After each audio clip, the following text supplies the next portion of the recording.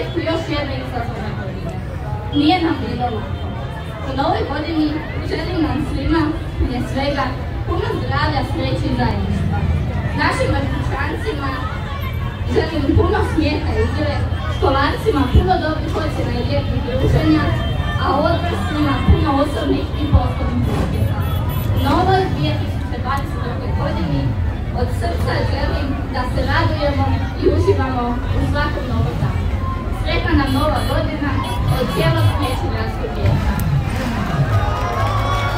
Bravo djeco, veliki pljesak za Ivu.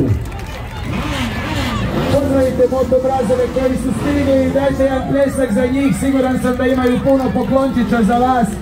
A gdje?